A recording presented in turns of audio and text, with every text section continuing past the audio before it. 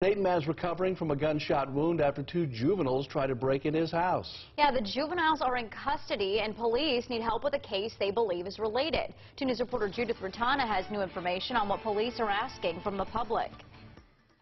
The two minors arrested are awaiting formal charges tonight. Dayton police say they're linked to another crime in the area. Now they need your help finding a stolen vehicle.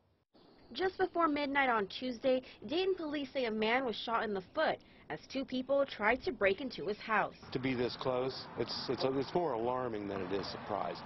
The shooting happened on Dwight Avenue. This neighbor says he just moved to the area last fall. I was kind of hoping that the neighborhood I chose was a little safer. Uh, but, you know, it can happen anywhere. Nearly three hours after the shooting, police say the suspect struck again about a mile away. Police say the suspect robbed a pizza delivery driver. They took his phone, car, and pizzas. Due to some fantastic uh, legwork by detectives and officers, a link was uh, established and uh, two juvenile suspects were taken into custody. Police now need your help locating the pizza driver's car. It's a 2016 black Mazda 3 Sport with Tennessee plate 5K68Z3. Crime can ab absolutely happen anywhere. Uh, no, no neighborhood is immune uh, from crime taking place. Lieutenant Hall says there are steps you can take to deter criminals from your home.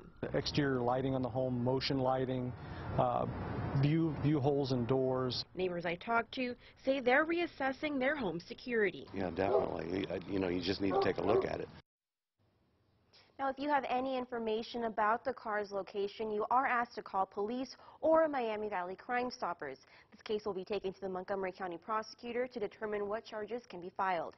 Judith Hartana, 2 News, working for you.